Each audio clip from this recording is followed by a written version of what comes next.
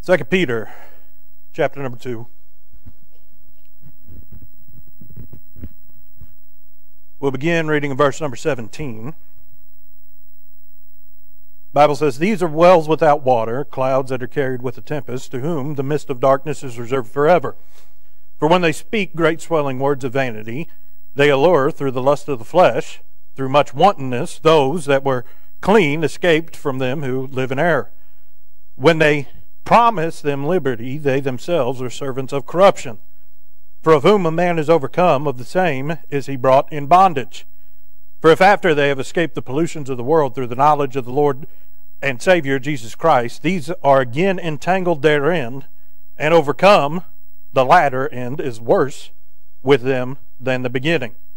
For it had been better for them not to have known the way of righteousness than after they have known it to turn from the holy commandment delivered unto them. But it is happened unto them according to the true proverb the dog is turned to his own vomit again, and the sow that was washed to her wallowing in the mire. Let's pray. Heavenly Father, Lord, we do thank you again for an opportunity to be in your house tonight.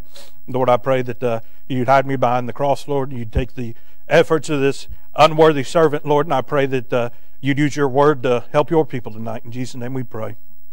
Amen. Now, all the way back in verse number 9, the Apostle Peter starts off describing individuals that are among the redeemed, but they're not living like it. And as a result of those people, we find the caution in verse number 17 that these are wells without water, clouds that are carried with a tempest, to whom the midst of darkness is reserved forever. Well, how do we identify some of these individuals? Well, first, verse number 18, he says they speak great swelling words of vanity. Anybody that's saved, and you know, man looketh on the outward appearance, God looks on the heart. But anybody that claims to be saved, but all that they talk about is either themselves or they're really good at talking about nothing, which is what vanity means, emptiness, chances are they've got something wrong going on down in their heart. Right? Then it goes on to say, they allure through the lust of the flesh, through much wantonness. They're always hungry, never satisfied. And they seek to fill themselves with the desires of the flesh, not with the desires of the spirit. Then Goes on to say in verse number 19, says, While they promise them liberty, they themselves are servants of corruption. Everybody's claiming that they've found a new way, but I've only found one way that'll lead to freedom, that the Son sets you free, free indeed. Right. But he says, whatever they've come under, later in verse number 19, for of whom a man is overcome, of the same is he brought in bondage. Whatever overcame you, not talking about things that can overcome your salvation, things that are overcome your desires, things that'll overcome your love, things that'll overcome your devotion to the things of God.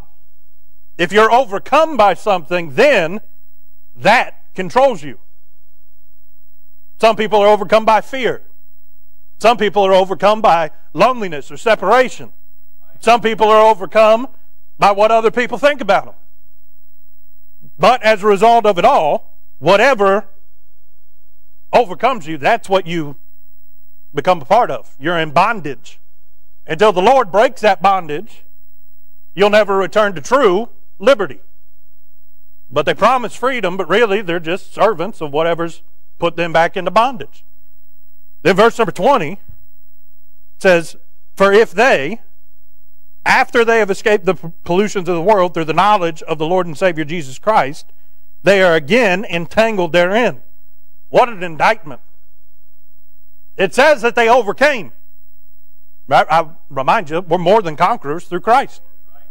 Christ overcame their sin. He broke their chains of bondage, but yet they once again are entangled therein. The very thing that they realized they needed to be set free from, now they think that that's what they need. In verse number 21, very serious statement. Peter says that for it had been better for them not to have known the way of righteousness than, after they have known it, to turn from the holy commandment delivered unto them. He's saying it would have been better for them to be ignorant of what God expects out of His children than to know what God expects and then turn away from it. He's not saying it would have been better for them if they never got saved. What he's saying is some people, they may find a track one day and get saved. They may never know that it's God's will for them to be a part of a church. God forbid that that would happen, especially in America. Right? But certainly, places like you know, China, North Korea, Vietnam, other places where they have laws on what religions you can and can't practice. Some people may not have all of the privileges that are afforded to us. But those that have been rooted in truth, they know the difference between what a child of God looks like and what a child of God doesn't look like. It'd be better for that individual to have not known anything about God than to know what to do and then do the exact opposite. In fact, he says, it happened to them just like the true proverb in verse number 22. He says, The dog is turned to his own vomit again, and the sow returns to the mire after she's been cleaned. He's saying, Dogs, you can try and figure a dog out. I've learned every dog's a little weird. Right? There's just something weird about why a dog would throw up and then want to be anywhere around it. I don't know about you, don't know about you guys, right? One of the things I hate most in the world, throwing up. Right? I would be miserable through a whole lot of running at football practice and a whole lot of football practice thereafter, trying my hardest not to throw up. Granted, if I probably would have, I would have felt a whole lot better for the rest of the day. But no, I hate it so much, I'm not going to do it.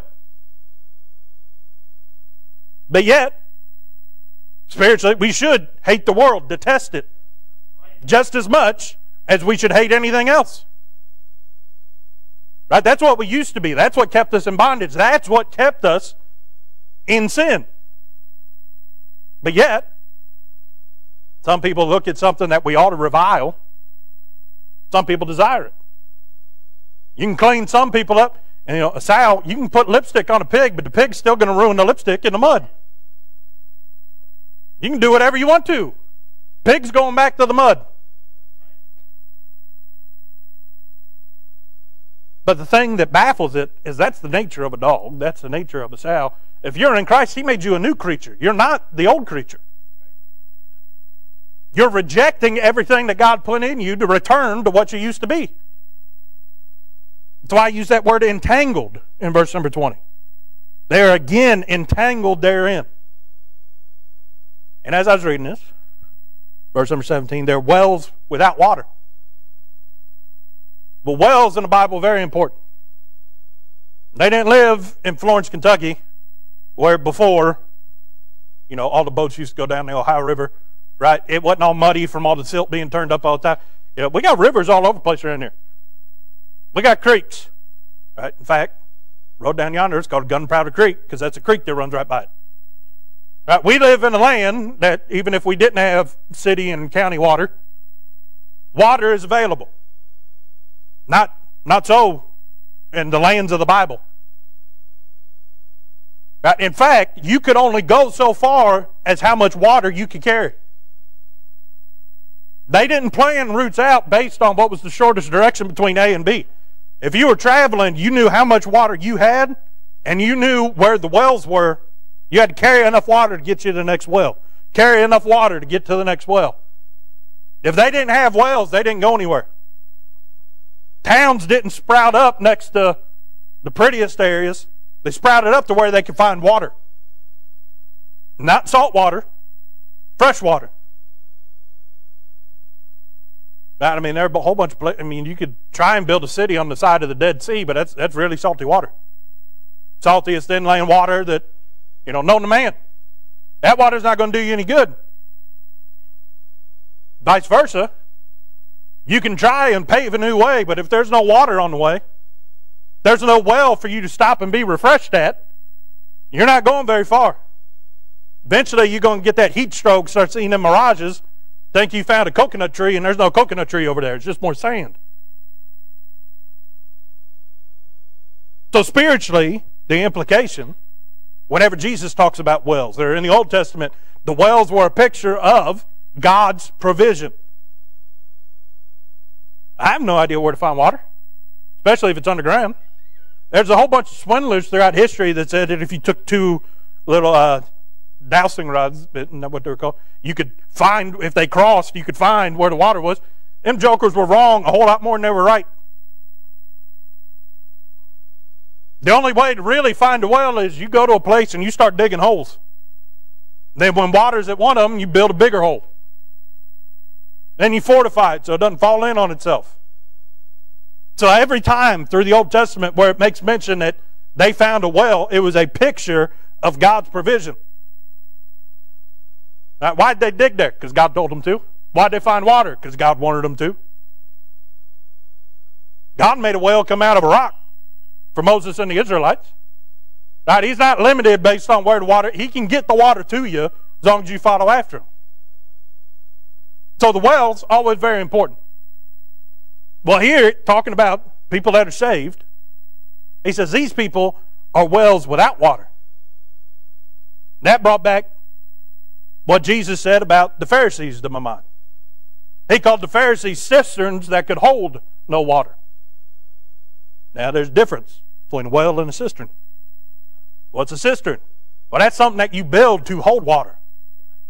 It doesn't have its own source of water. You got to put water into the cistern. A well has a source, never runs out. If your well dries up, you got to find a new one real quick. But if God gave you the well, it's not going to dry up. So between the cistern and the well, find a comparison. Now, the Pharisees, they still under the law. They were still abiding to what God had given in the Old Testament. And Jesus called them cisterns. Why? Because they had no source of water. They were just relying on the grace and the mercy of God to pour water out.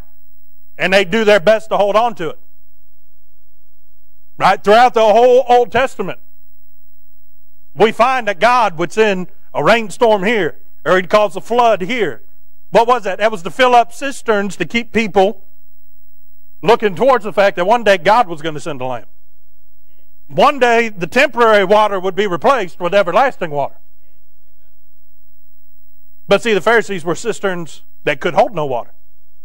Why? Because everything on the outside looked like it was meant to glorify God, but yet they taught the commandments of man as commandments of God.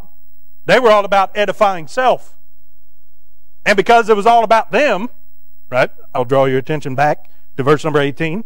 They speak with great swelling words of vanity. They allure through the lust of the flesh, through much wantonness. It's all about them and how much they could get. That's why they couldn't hold any water. Because God would pour out the blessings and they weren't looking for what God wanted, they were looking for what they wanted. They could hold no water. Everything that God had given to give them satisfaction, to hold them over until Christ came. They couldn't hold it, had no interest in it. But see, this is different. Because they're not cisterns. He says they're wells with no water. Well, in order to have a well, at one point, you had to have water. Otherwise, it's just a hole. But we know that they know of the saving knowledge of Jesus Christ. And what did Jesus say? If any man drink of the water that I give him, it'll be a well springing up within him unto everlasting life. That means Jesus said, You drink of the water that I've got, I'll put a well in you. Well, their well's dry. What happened? God didn't turn the spigot off. They turned the spigot off. Out through how they were living. So, what the Lord's help tonight, we're going to preach on how's your water? How's your water?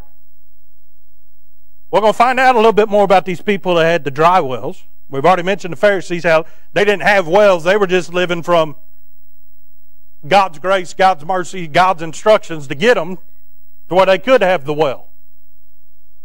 Right, but wells, very important. I mean, I will remind you that when Isaac, right, Abraham's already gone off the scene.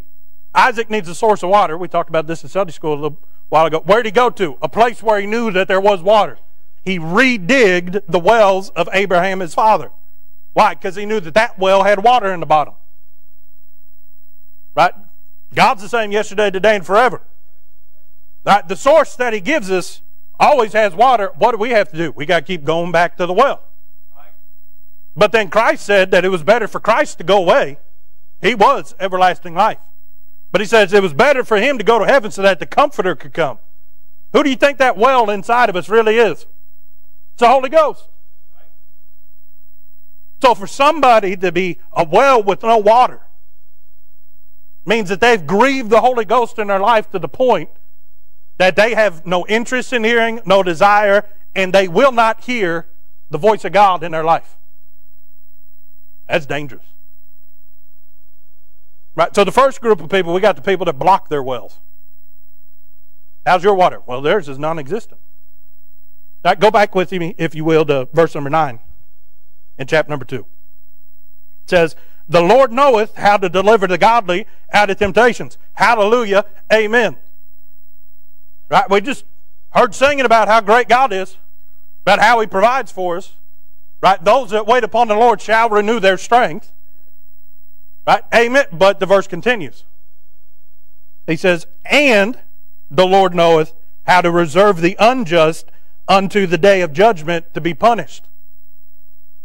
God knows how to provide for the godly, but He also knows how to take care of the unjust. Because our God is holy. Which, by definition, means that He knows what is holy, and he, if He doesn't know it, it's unholy. God doesn't know sin, He's never partaken in it. But He knows what's holy and what's not. And He also knows that He set forth the commandment, Be ye holy, for I am holy. He knows that He sent men of God throughout the ages to proclaim, This is the way that you ought to be. Right? And back in verse number 21, remember, it had been better for them not to have known the way of righteousness. We know what righteousness is, it's Christ. That's the goal. Right? But, verse number 10, talking about those people again that have stopped up their own well, they says that they walk after the flesh in the lust of uncleanness and despise government. Presumptuous are they, self-willed. People that stop up their wells, it's all about them. Self-willed. Well, what's presumptuous mean?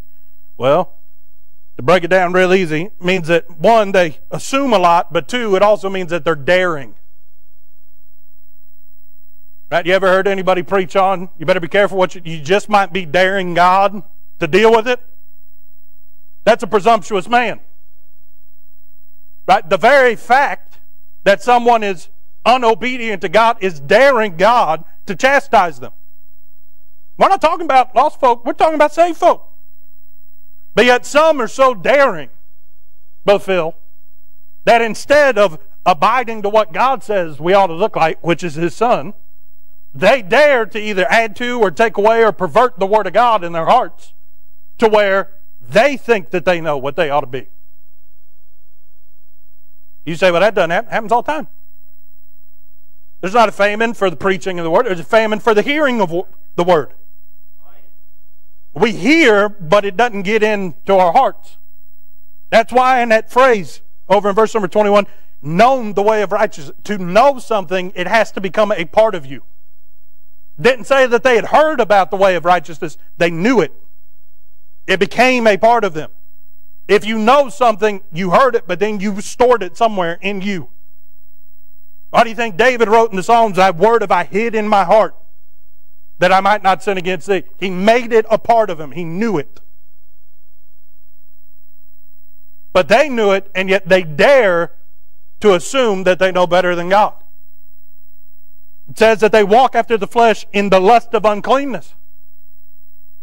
Right? If you desire to live a Christian life, good. But all the desire isn't going to mean that we're going to be perfect.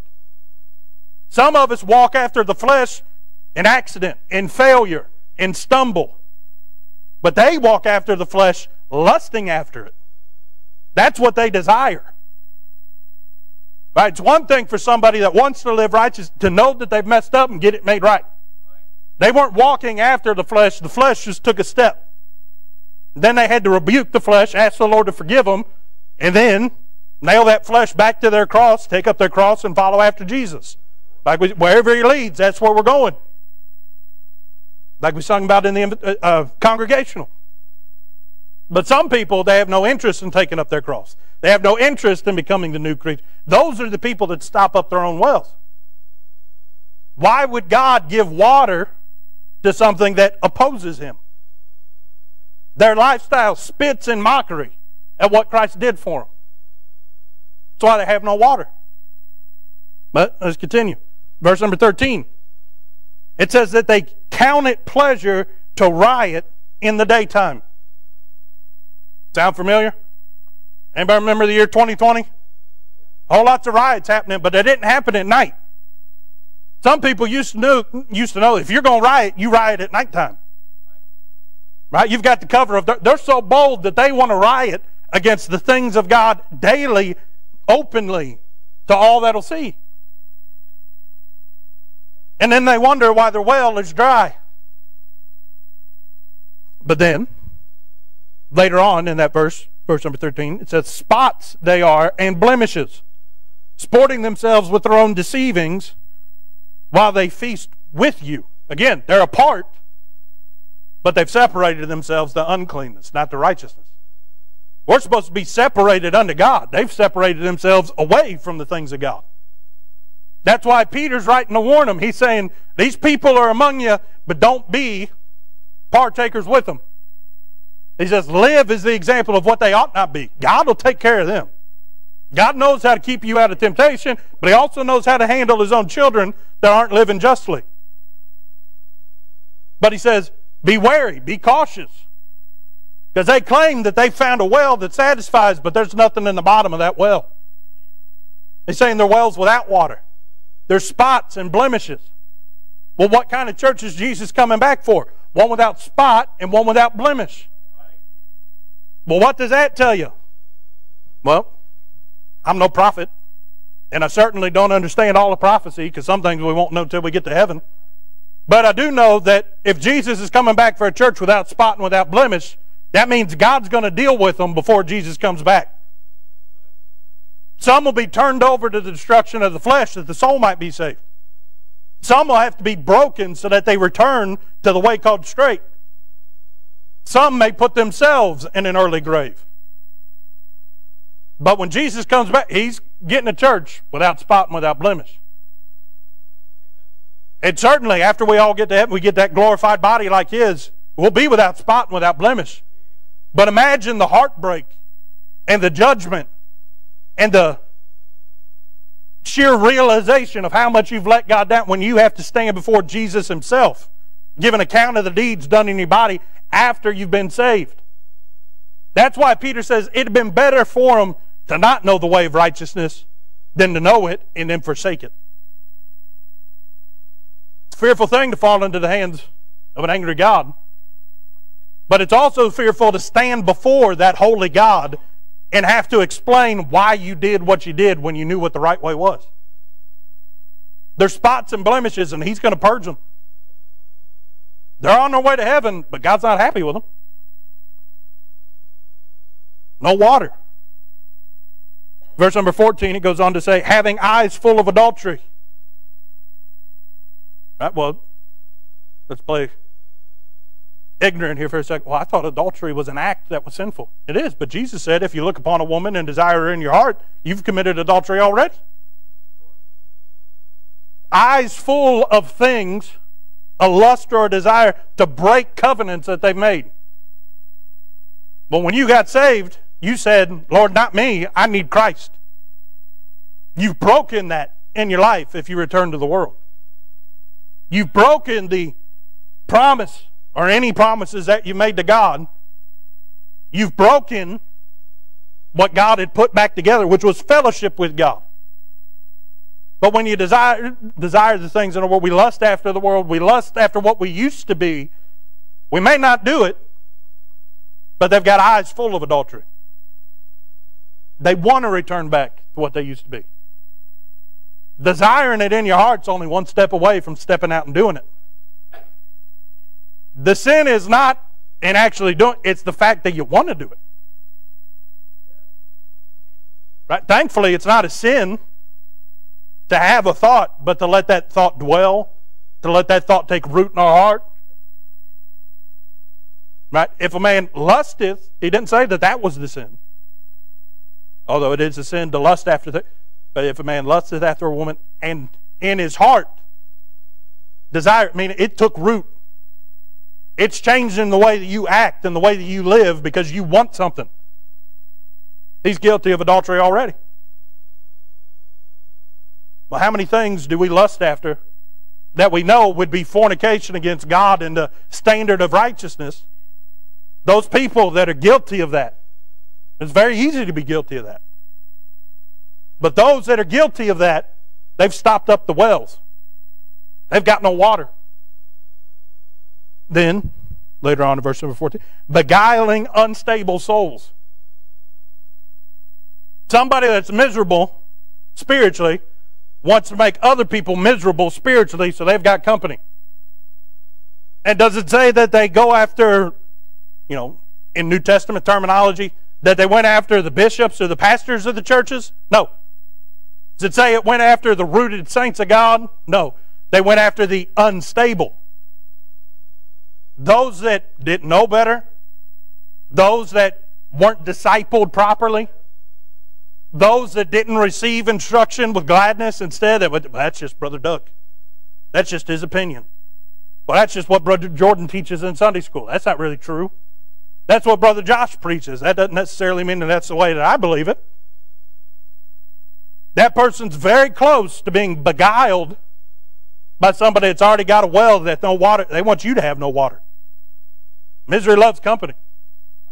But again, verse number 19 talked about that they've been brought under bondage by whatever's overcome them. Meaning, really, they're not the one that desires to destroy you. It's the ruler of this world, the powers and you know principalities and darkness and spiritual wickedness and high places. It overcame them. It desires to overcome you too. Because your very life as a Christian is saying, there's water, but not in this world, it's in Christ. So it desires to stop up your well. Desires to have people look into your well and say, well, there's nothing at the bottom of this well. Whatever they claim to have, it's not going to help me. Right? Well, goes on to say in verse number 14, in heart they have exercised with covet, or covetous practices, cursed children. Their hearts are not exercised unto faith. Their hearts are not exercised unto belief or to obedience or to sanctification or righteousness. Their hearts are exercised in coveting things of the world, things that God's given to other people, coveting what they don't have and using it as an excuse to fall out with God. Why? Because it's all about them. They think that they deserve more. It's all based around self and vanity. And what does it leave them? The definition of vanity empty. Their well has no water.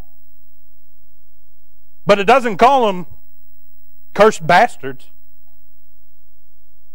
Right? If you're not of the Lord, you're a bastard, not a son. It doesn't call them bastards. What's it call them? Children. They know God. They're one of His, but they're cursed. Not by sin, not by the world. They're cursed by disobedience, by rebellion. And we know that rebellion is as the sin of witchcraft. Because you've lifted yourself up as the God in your life instead of submitting unto God. We ask, why are their wells stopped up? This is why their wells are stopped up. They've turned their back on God. But then, verse number 15 beginning part says, which have forsaken the right way and are gone astray. To forsake something, at one point, you had to know it. You had to be a part of it. It had to be a part of you in order for you to turn your back on it. These aren't people that made a false profession and claimed to be saved, but they never were.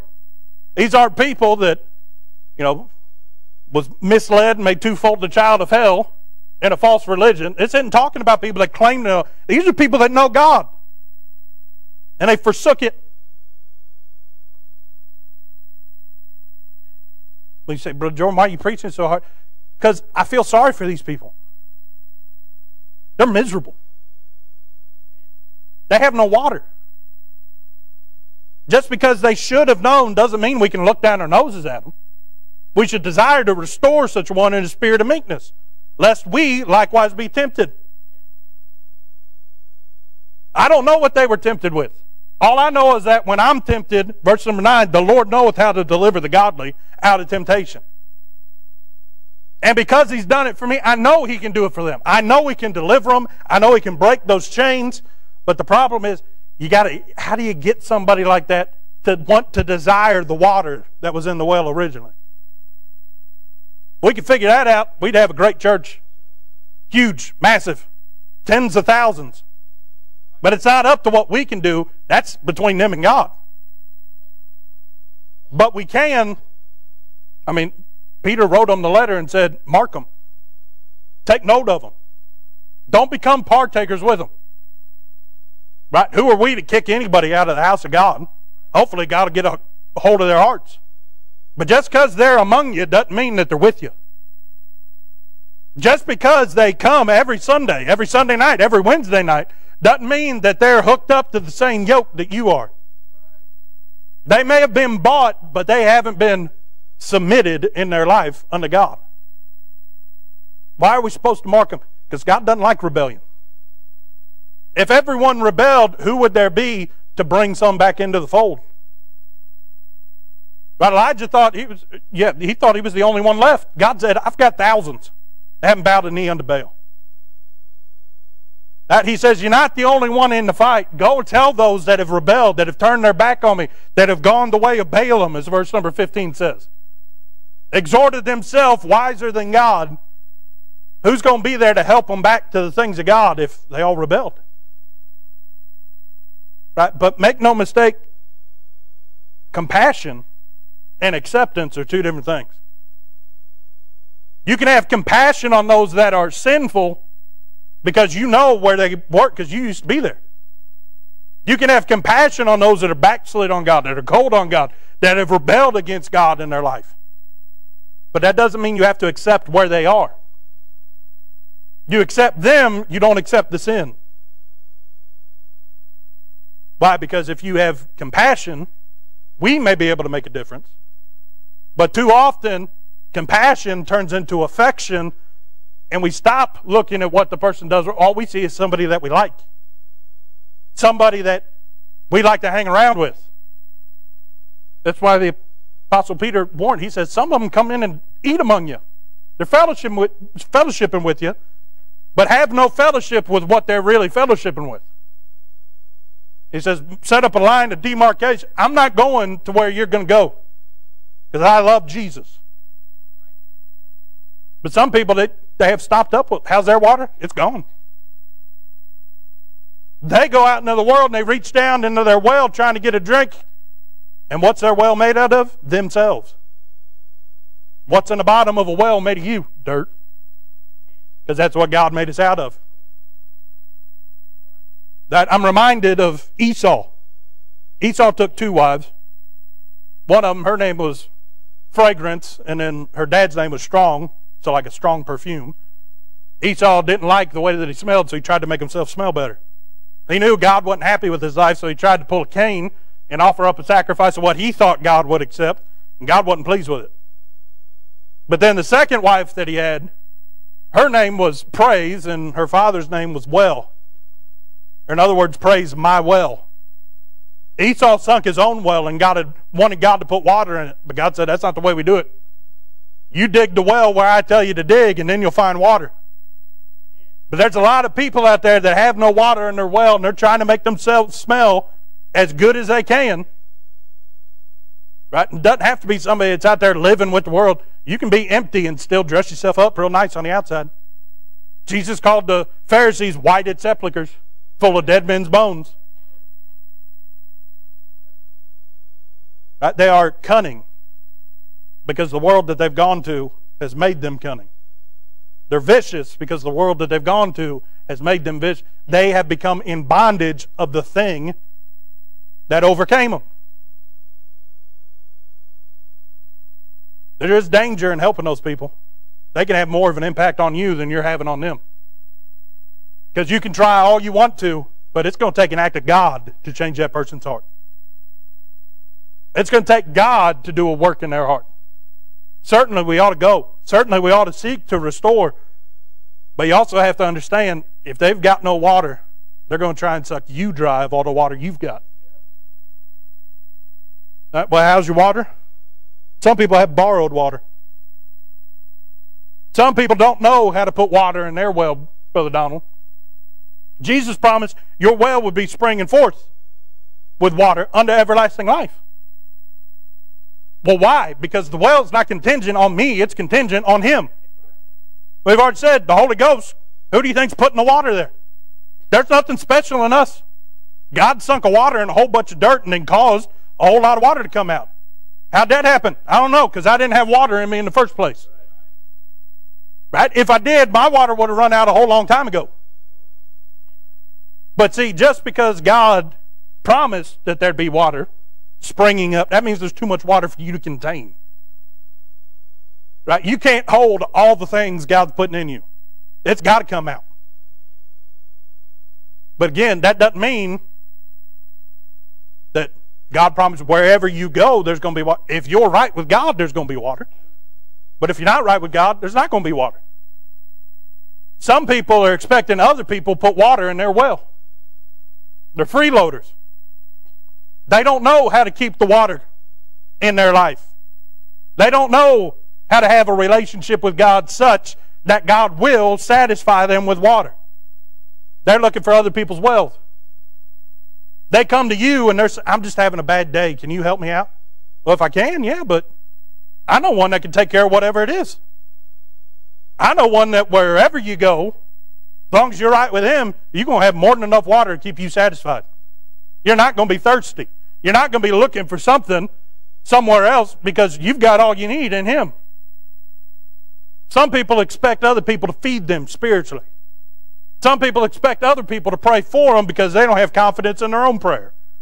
Some people are so anemic spiritually that they just expect, well, we're supposed to bear one another's burdens. True.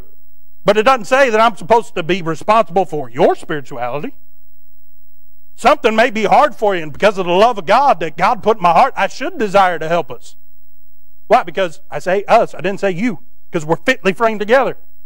There is no I and you, it is us, the church. If you're hurting, I'm hurting. That's why I desire to help you.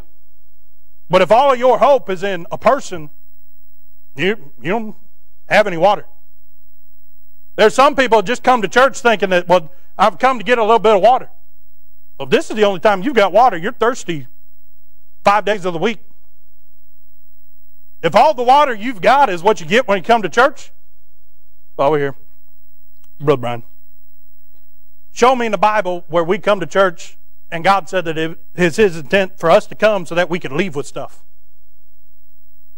No, we come to the house of God to offer up everything we got. We're supposed to come and pour out our praise unto God. We ought not come to church expecting anything. But because God is just the way that He is, I can't thank Him for all it because every time I come, just want to talk about how great He is.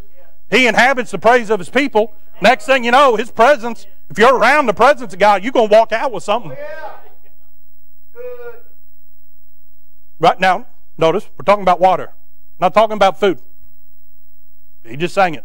Man should not live on bread alone. Every word that proceeds out of the mouth. This is where your bread, this is where your meat's coming from. Right? Daily, you ought to be asking, Lord, feed me.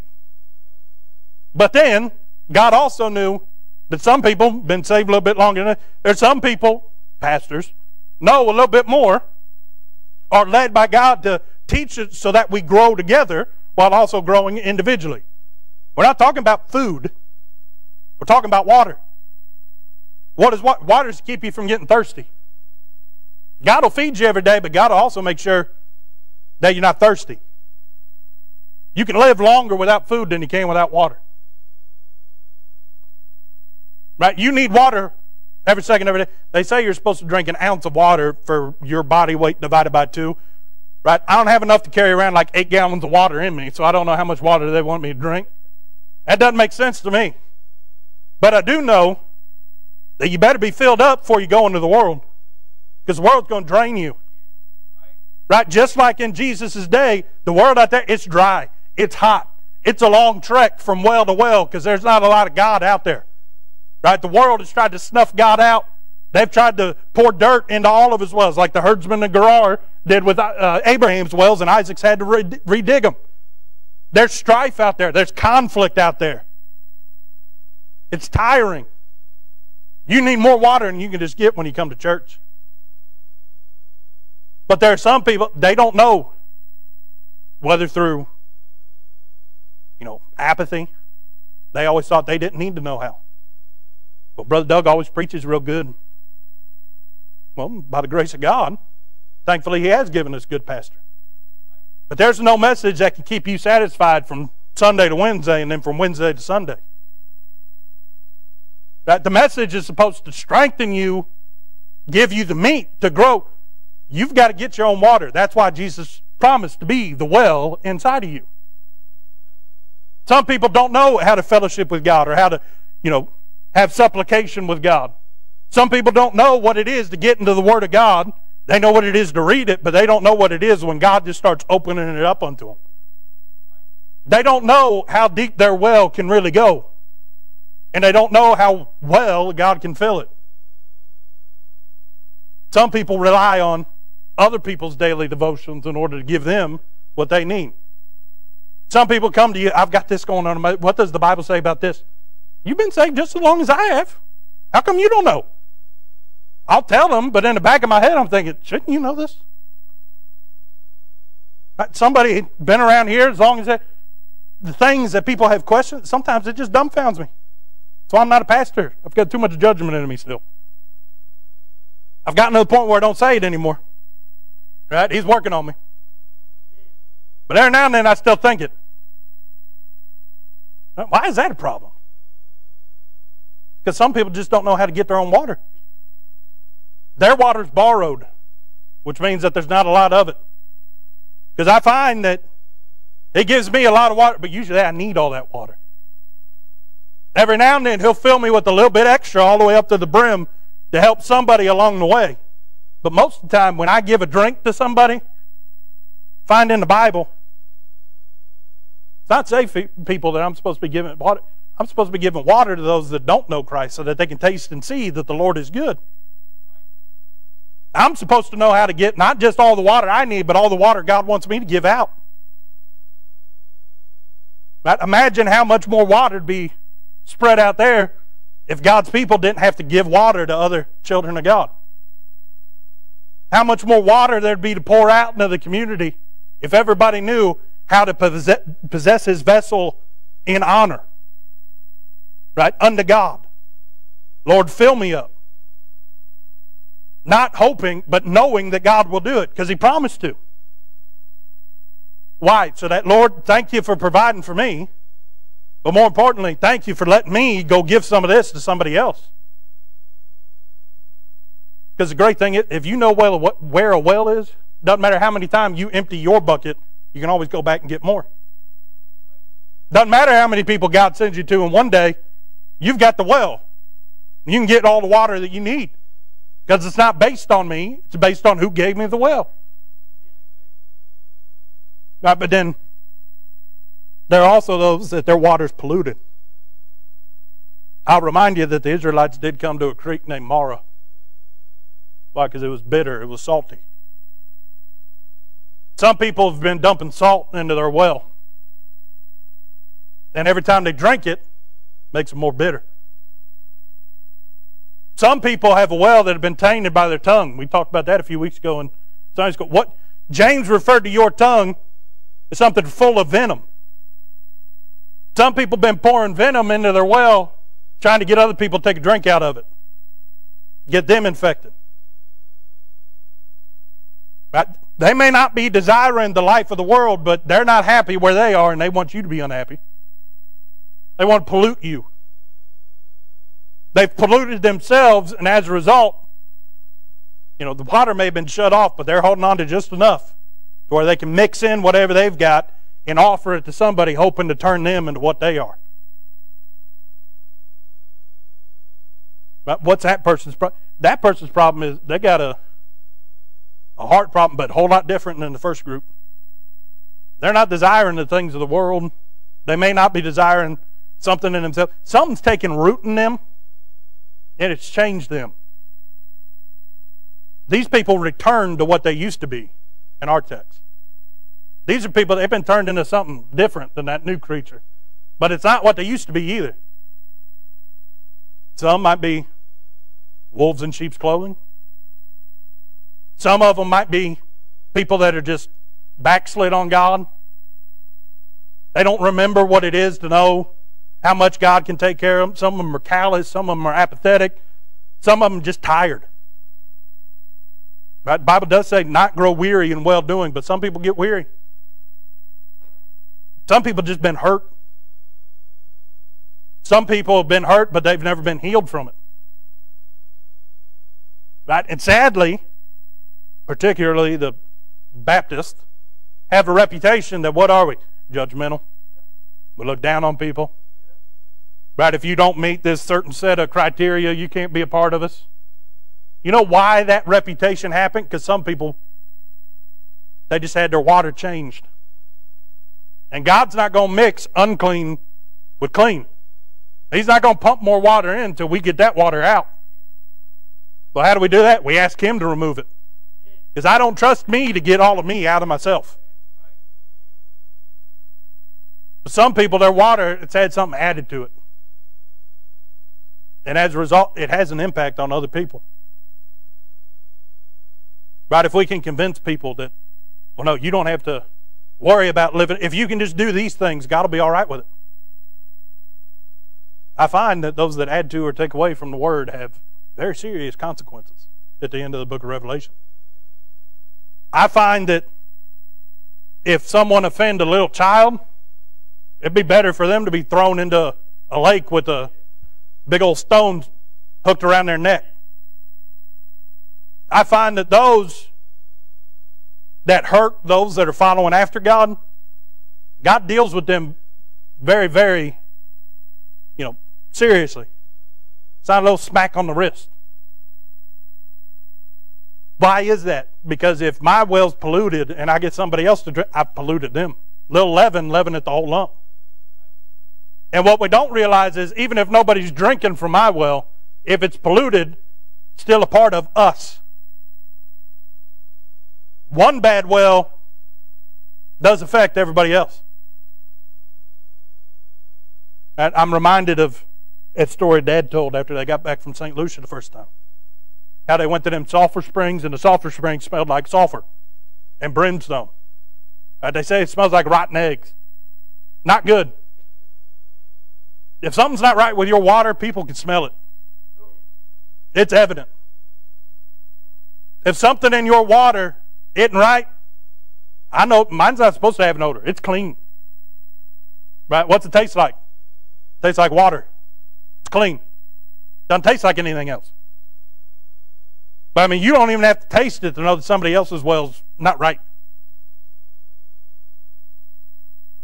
Right?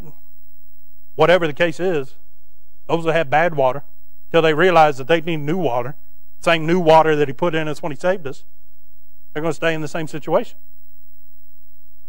But just because somebody else maybe, well, I haven't done anything to anybody else. You don't have to. Some people just the smell. I mean, you guys know about the, the radon testers in your houses? Right? That's why they say in spring cleaning every year you're supposed to open the windows and let the air get through the whole house. Because radon's heavier than most other air. Usually ends up in your basement. And it's odorless. Doesn't have a taste. Doesn't have a smell. But if you don't air it out, you can walk downstairs one day, get knocked out, and then you die. Because all you're breathing is radon, not getting any oxygen. That's why they have the radon testers. That's why they have carbon monoxide testers and everything else. It's to let you know when something that you can't see and you can't smell can hurt you. Well, sometimes people's water may not taste it, may never drink it, but just the odor alone can cause people harm. Right? Try sticking your mouth onto a gas engine, whatever pipe comes out of it. Try breathing that. Not going to work. Well, I didn't drink the gasoline. No, but you huff the fumes. I'm not doing anybody else any harm. You don't know that. It's only by the grace of God that we don't hurt people unintentionally all the time. But willfully knowing there's something wrong with my water and still letting it fester, that only causes more problems for other people. Right, well, what is the right kind of water? How do we get it? And then we'll close. Right water, pure, undefiled. Right, just like we're instructed our religion is supposed to be pure and undefiled. Where does that come from? Comes from a lack of self. Comes from no expectations. Lord, I am yours. You can do with me however you please. Not saying every day is going to be sunshine and rainbows, but in the midst of everything, your well is undefiled. What is outside does not take root inside. Well, how do we do that? Well, daily, early in the morning will I seek thee. Daily, he bestows benefits on us. We can't even comprehend how good God is to us every day. But every day, Bible says that he remakes the promises that he's made to us through the Bible. Every day he remakes them to you. The only thing that keeps us from having the well that we ought to have is us. God's removed every boundary, every obstacle, everything that used to be a part of us before we got saved. He removed it all, made us into a new creature so that we could receive what God wants us to receive. Well, how do you get obedience, submission, humility? Right? Getting into the Word of God and saying, Lord, I know that you may have taught me this before, and I'm sorry that I forgot it. But Lord, I need something today, and I know that you've got it for me. Lord, I don't deserve to know about your goodness. I don't deserve to know about the way of righteousness because of what I used to be. But Lord, with your help, I can be what you want me to be.